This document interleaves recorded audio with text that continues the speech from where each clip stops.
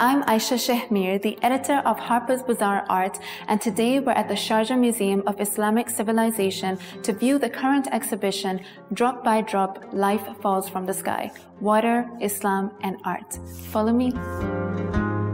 The artifacts on view show the relationship between water and Islam from its most ancient roots to its numerous developments.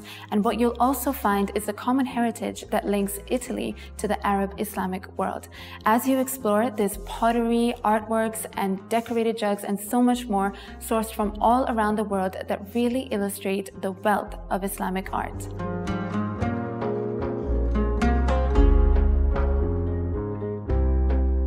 At the very beginning, there is a manuscript with a verse from the Holy Quran which translates to, and we created every living thing from water.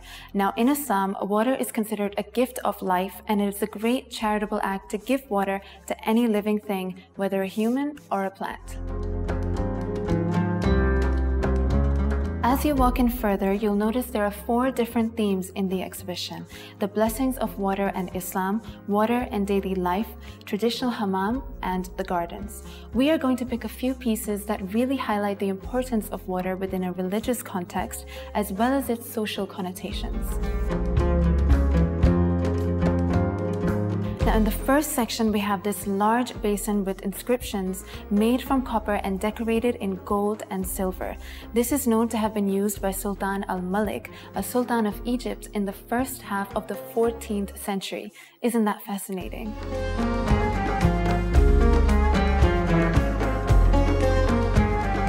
Are also a number of 17th century Ottoman flasks on view, and these were considered a symbol of status and were often gifted by the sultans to others. Some of these were even used by the pilgrims to pour in water from the Zamzam well, which, if you didn't know, is one of the greatest miracles of Islam.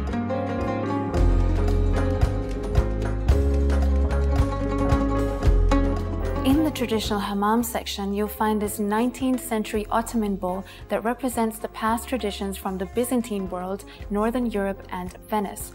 This was acquired during the Ottoman Empire's ruling of the Balkans territory. How incredible is that?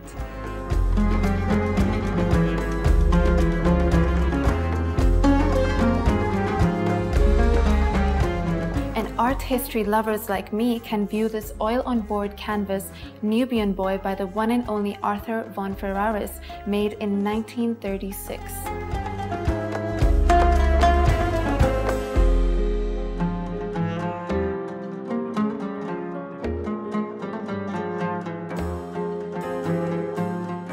On canvas painting called Alhambra Granada, The Court of the Lions by the late Italian painter Alberto Pasini, and The Miracle of the Cross at the Bridge of St. Lorenzo by Italian Renaissance painter Gentile Bellini. You'll also find this 19th century kashkul or begging bowl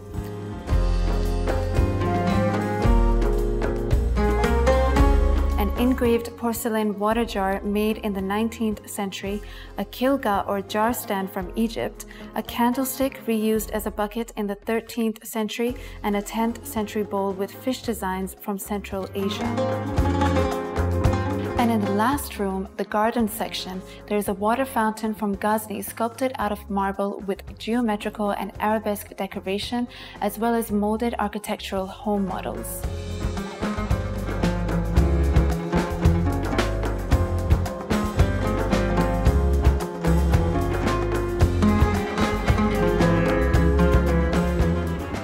Now, this exhibition is a collaboration with Fondazione Torino Musei, an art foundation in Italy, and these 120 artifacts are actually being showcased outside of Italy for the very first time. You can visit until December, and there is so much to explore, so do not miss this exhibition.